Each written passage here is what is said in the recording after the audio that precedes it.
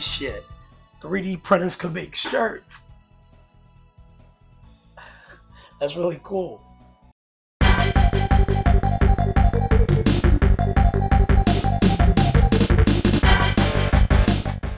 Hey all, welcome back to another Digital Magicians review of the Bambu Lab H2D.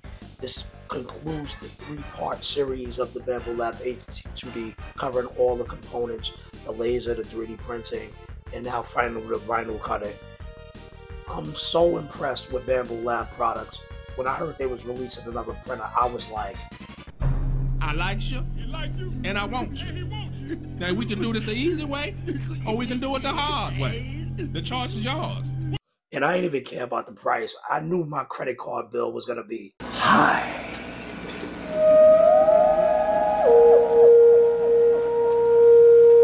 as a kite by then. I'm gonna tell you right now, this thing is good at everything it does. The 3D printing is top notch, just like the X1 Carbon. The quality is pretty much the same.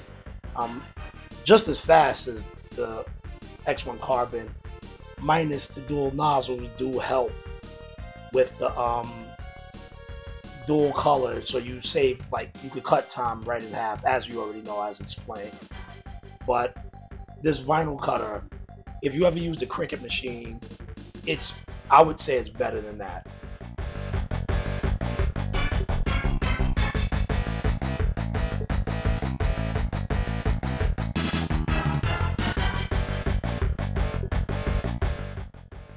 So just like the laser cutter, this one went through a lengthy calibration process. I even had to update the firmware. That firmware update paused and took forever. I was like, Hello. Um, it asked for about a piece of paper, like a regular eight and a half by eleven piece of paper for the calibration. I thought one was actually packed with the H2D, so I kind of looked through it. Hopefully, I didn't actually throw it away, but that don't matter if you did. I actually went and just grabbed the regular eight and a half by eleven piece of paper out of a printer and just slapped it right on the the actual mat and let the printer calibrate from there no matter what you think of Bambu Lab, everything they do is Easy like Sunday morning. you actually want to come down here and 3D print. You actually want a laser cut. You actually want to use the vinyl cutter. All of the hurdles of trying to make the tool work is gone. It's just creating.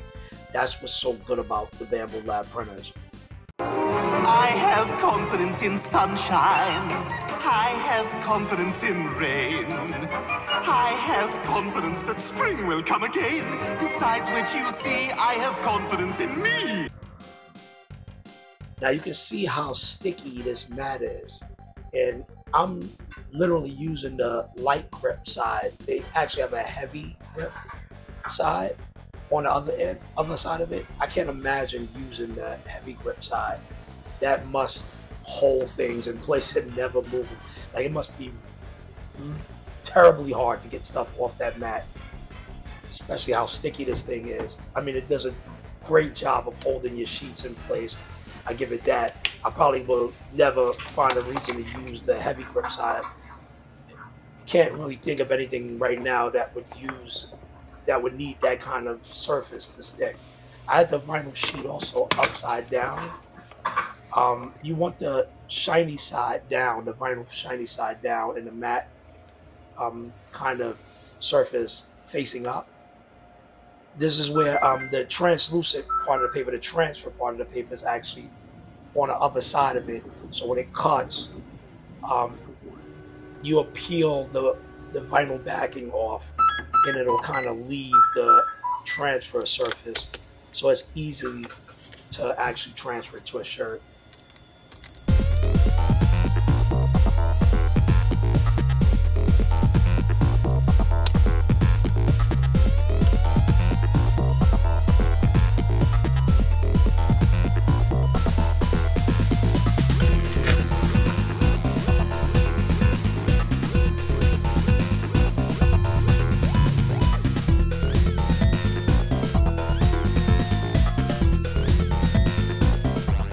Wanted to use my logo in creating the shirt. Like, why not, right? I'm, you know, company stuff, might as well try to use the logo. But you can see the logo is actually made a little bit more simple. The logo that I always use would have probably been a pain in the ass to try to get that thing peeled as you see me trying to peel this one, which also was still a little complex because I still did want to use a complex shape to see how well this thing actually cuts around and how easy it is to peel off. This cutter did a magnificent job cutting this logo, and I'm pretty confident it could have did the even more complex logo after doing this one. I've been creating shirts in fucking years where at least that heat press very, as you can see.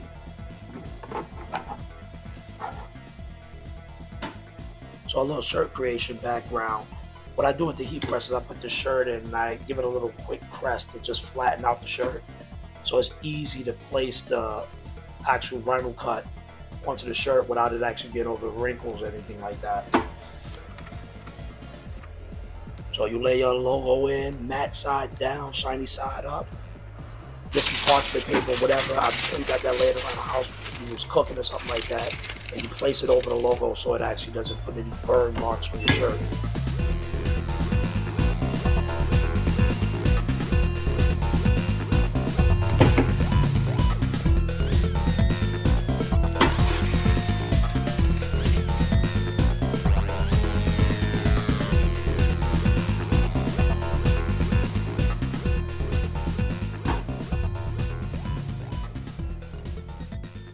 So, so one of the concerns with having a all-in-one machine when Bambu released the H2D was, is there going to be any compromise with any of the other things, especially the 3D printing portion of this machine? Is there going to be a compromise with the actual cutting portion, the laser, anything like that?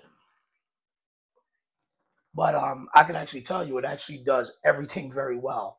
So the cutter is really accurate. The mat very sticky, so it actually holds everything in place. Probably a little too sticky, but it actually has those two sides that you saw in the video. Um, the laser, if you are looking to cut like wood and heavier materials, probably opt for the actual 40 watt laser. I got the 10 watt laser. Um, I wasn't really too interested in the laser part, mostly, of course, the 3D printing and the vinyl cutter. But um, yeah, if you are looking for to use this as a laser cutting machine, I would probably suggest a 40 watt laser. The 10 watt laser couldn't really cut through a lot of things. But um, yeah, this machine is really good at everything it does. Um, I'm actually really impressed with it. Happy with actually getting this machine. The cost could have been a little, little down, especially buying it during uh, tariffs. But um, it's very useful, and I'm probably gonna get a lot of use out of it. So yeah, thanks for watching the video. Um, subscribe if you haven't subscribed already. I'm actually planning on reviewing more things in the 3D print realm. Um, I'm still waiting to get the actual high temperature AMS. So stay tuned for all those videos. And again, thanks for watching.